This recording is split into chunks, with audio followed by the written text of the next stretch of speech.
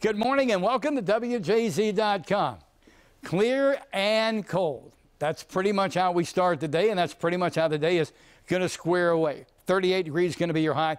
20 degrees below normal. Let me show you temperatures at 7 a.m. as I make this presentation for you because they're, they're setting the table for the rest of the day.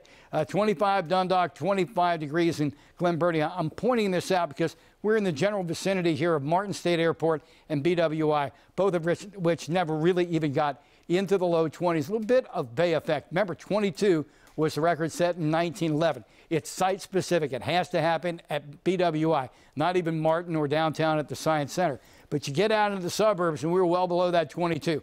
20 Mount Airy, 20 uh, uh, Town, uh, 20 degrees Jarrettsville. There's a light breeze in the area, and that's actually giving us a wind chill this morning here on TV Hill of 15 degrees. Look upstream. I mean, we've got a west northwest breeze this morning, and we're at 23. It could be a lot colder. Upstream, 9 in Detroit, 14 Chicagoland, St. Louis, Louisville, both at 16. Now add in Canada. Now, I'm, I'm doing this for a reason. We've been getting a lot of email uh, in the Weather Center. Is this the polar vortex? No.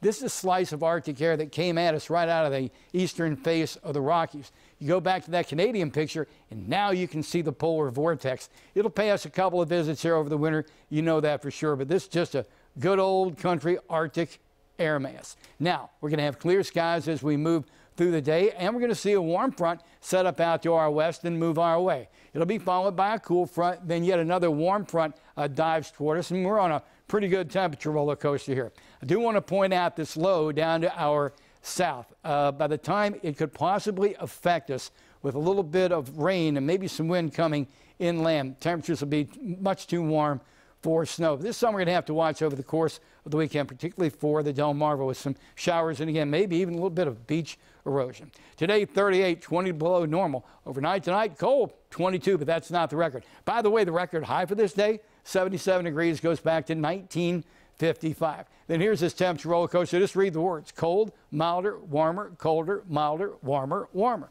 And there you have it. Uh, 58 degrees your normal today. It'll be 57 by the time we get here.